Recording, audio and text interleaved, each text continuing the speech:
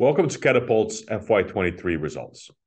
This recording will be followed by a live conference call, where I will be joined by Catapult's current CFO, Hayden Stockdale, and our incoming CFO, Bob Cruickshank, where we will host a Q&A session related to these numbers.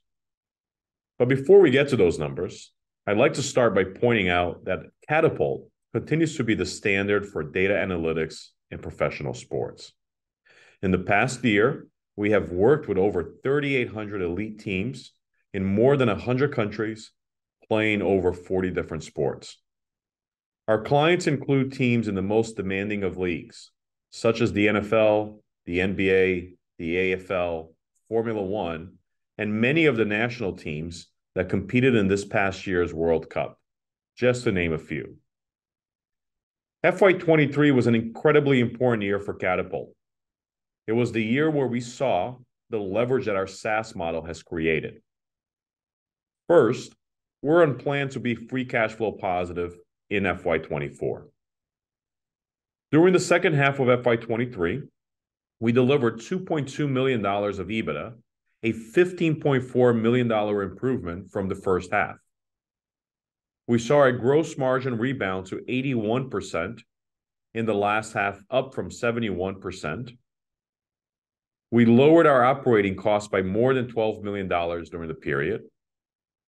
This resulted in an operating cash flow increase of 40% from FY22. We were also able to maintain growth while reducing cost. Our SaaS business grew 22%. We had record sales in the second half, with ACV growing 20.2%, and our largest vertical of P&H was up 28% this year. All while we continue to see record low levels of churn, FY23 was just not about the numbers. During the year, we continued to grow our league-wide deal portfolio with the expansion of the NRL and the signing of the XFL. We welcomed some iconic new logos, such as McLaren F1 and FC St. Pauli. And we also continue to see the power of expanding across multiple sports within universities by working directly with their athletic department, such as Princeton University. We also had an amazing product launches that are now beginning to accelerate following our investment program. We introduced new devices, such as our new indoor device, Vector T7, aimed at basketball. Using the same technology, we're also able to introduce a smart ball for American football. We continue to expand the integration of video and wearables, bringing that to ice hockey and basketball.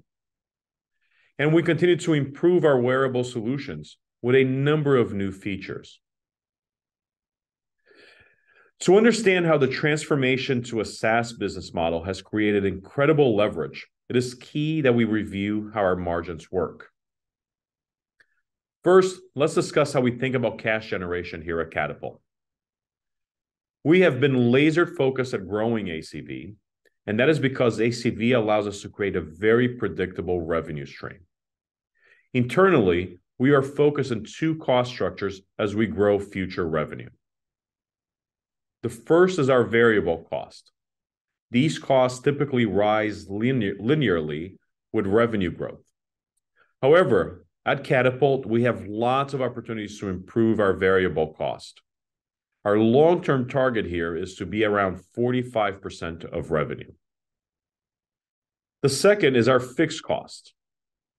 Typically, these costs do not grow with your revenue growth. However, as a company is scaling, it requires initial investment to reach a level of maturity that could support its business at scale. Our long-term goal is that our fixed cost should be approximately 25% of our revenue, and that we are ultimately generating 30% of operating margin. Catapult has reached a level of maturity that we no longer need to invest heavily in our fixed cost, and we can continue to improve our focus on our variable costs as we scale. So let's review how we're doing in FY23. As we stopped our accelerated growth investment plan, you can begin to see this leverage at play.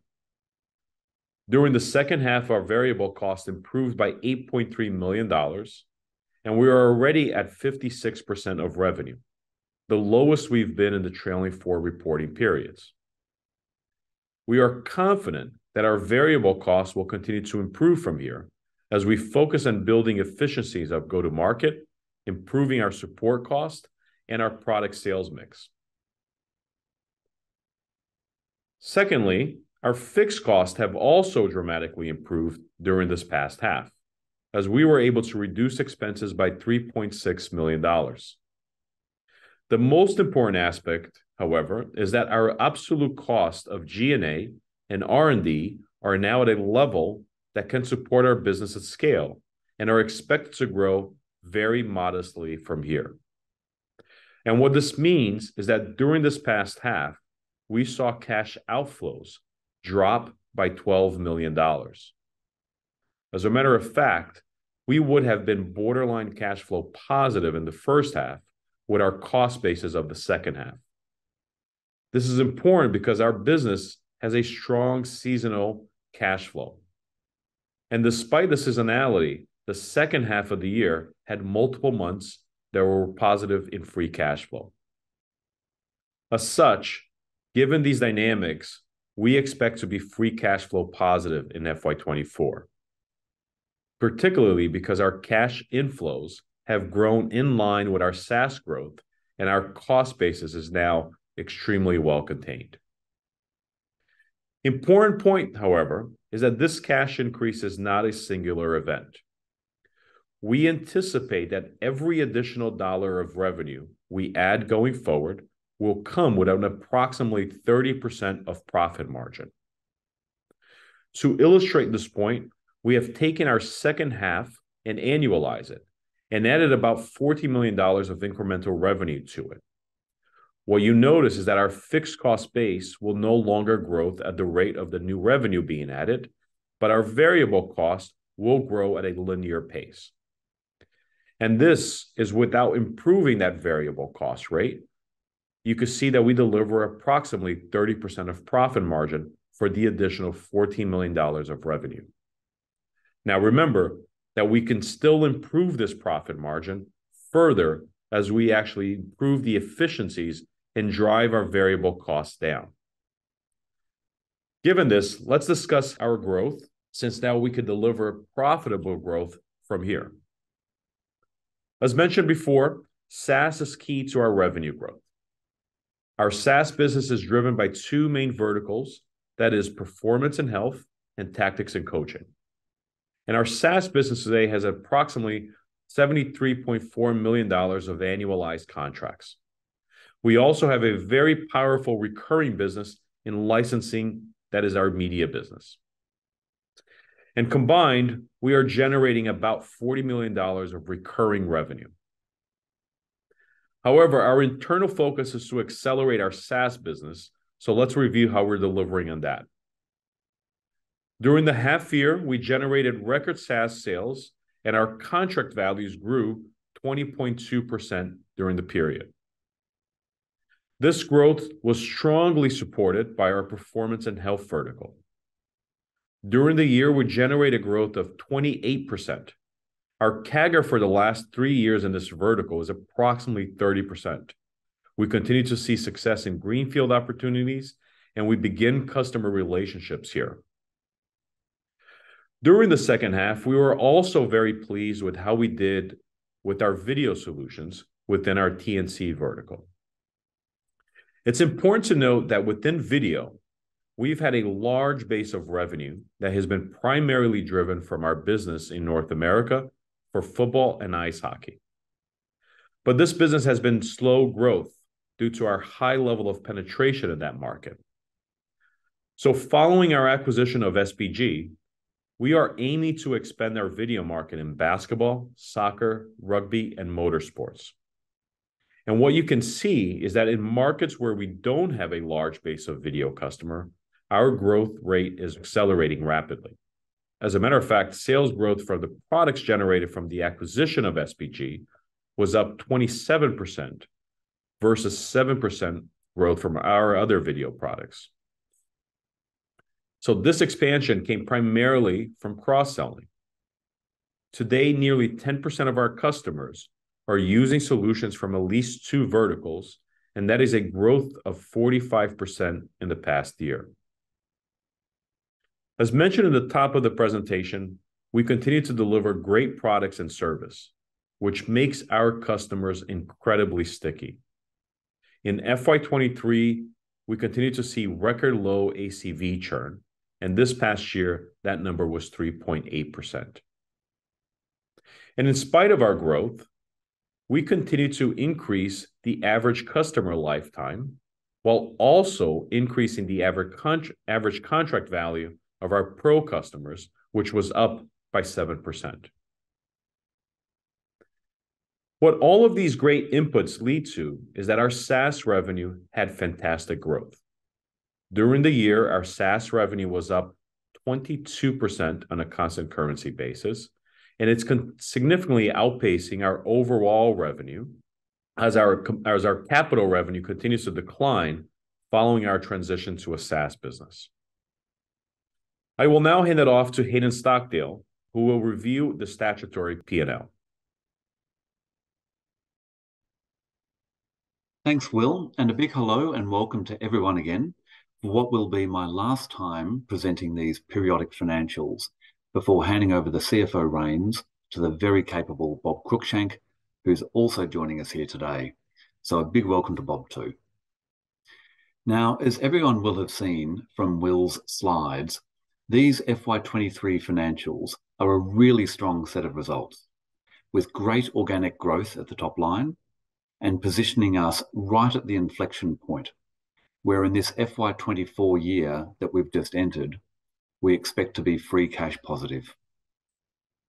But before I dive into that, on this first slide, I just want to clarify the last vestige accounting issue coming out of our move from capital to subscription sales, and that's the wearable hardware COGS costs relating to hot swap units, where those units, irrespective of whether they've been associated with a capital or subscription deal, have actually remained being expensed upfront in full in the COGS line until now.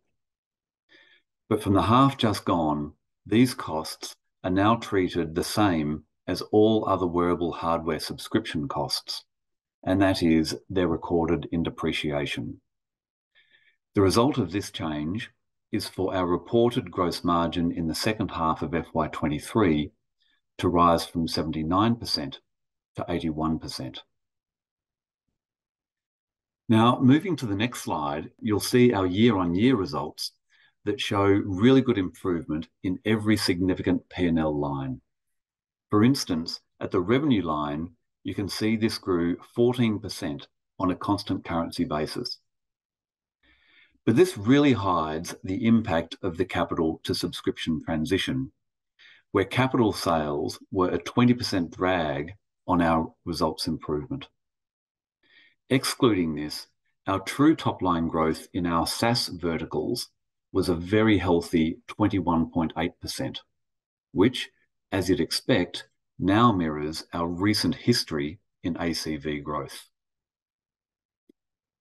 Now, one of the features of FY 2023 is that it was a tale of two halves, with the restructure that we implemented in September last year being a major bifurcation between a high investment and high cost first half and a trimmed back, managed for efficiency second half. And that's clearly evident on the next slide, showing the P&L for each half.